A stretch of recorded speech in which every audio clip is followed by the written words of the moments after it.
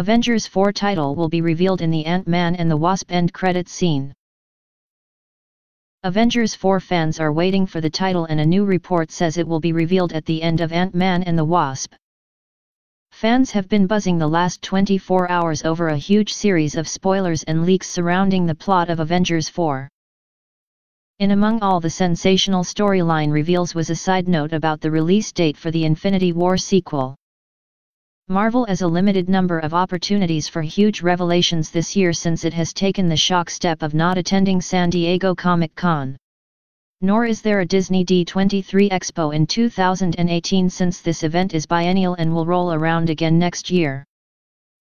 So when will the studio finally reveal the supposedly revealing Avengers 4 title? A new report yesterday claimed that the big news will be delivered at the end of next month's Ant-Man and the Wasp. Marvel frequently use the end credit scenes to tease fans with cameos and TID bits of information linking to the ongoing storylines. The most notable example was the single end credit scene for Infinity War which revealed that Nick Fury had called Captain Marvel. Will Marvel do the same this time?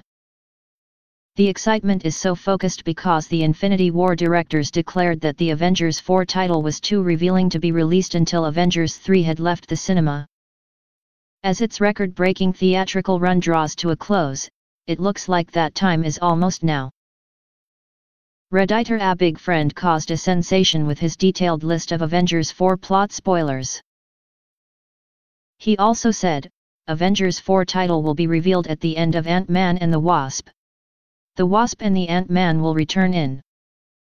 After 24 hours of fans' speculation and many accusations of hoaxing, the user has removed his post.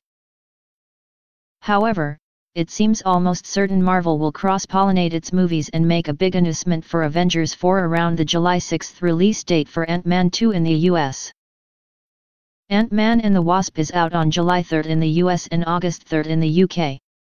Avengers 4 is out on April 27, 2019.